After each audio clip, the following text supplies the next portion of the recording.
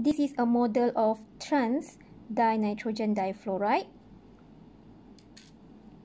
If we look this molecule from the front view or side view, we can see that all atoms on the same plane looks like planar molecule and if we look from the top view as well we can see all atoms on the same plane alright so now we are going to find out the symmetry elements operation for this molecule.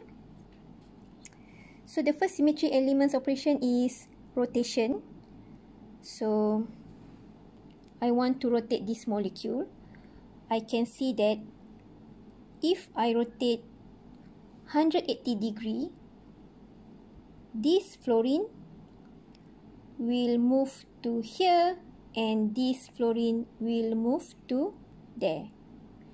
It means that to rotate 180 degree, we need to find out the C2 axis. So the C2 axis must be here through the nitrogen-nitrogen bond here. Alright, so we try to rotate 180 degree through this C2 axis. Okay, so rotate clockwise.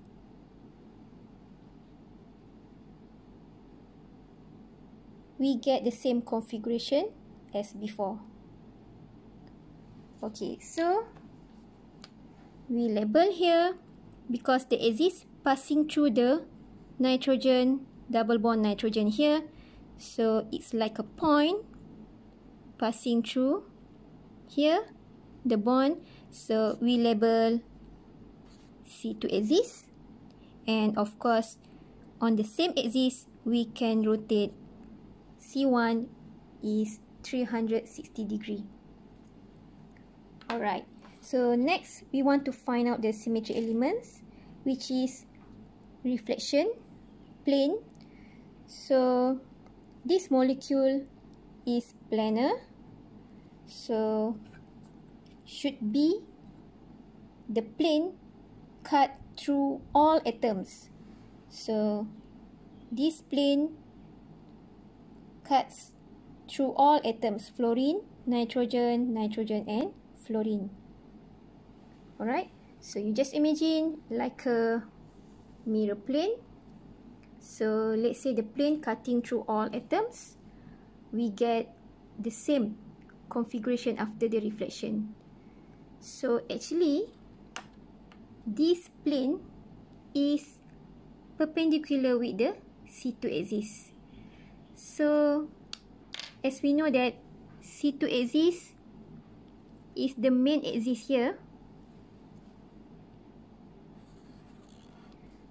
And this plane perpendicular with the main axis So we can label that plane as horizontal plane.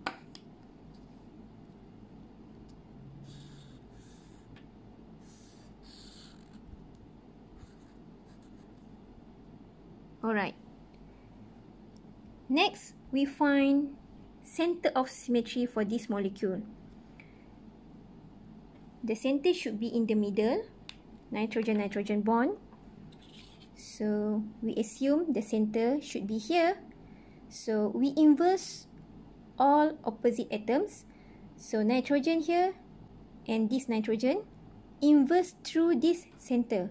So we get the same configuration as before. And then we try to inverse this fluorine and that fluorine inverse through this center. So we get the same configuration as before. So it means that this molecule has center of symmetry here.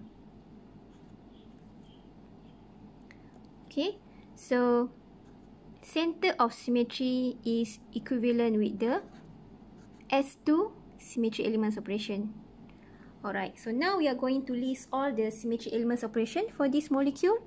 So this molecule has identity C1 C2 and the last one is horizontal plane alright So next, we try to find out point group for this molecule.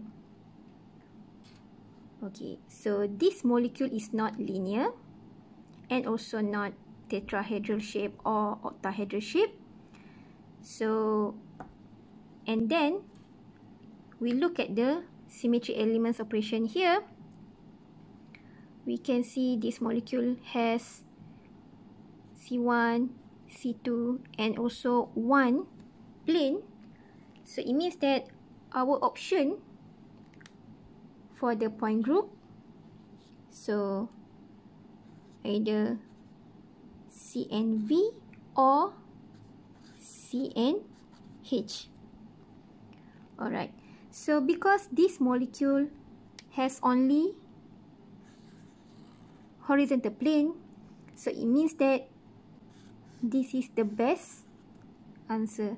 So the point group for this molecule is C2 because the main axis C2 and H because this molecule has sigma H.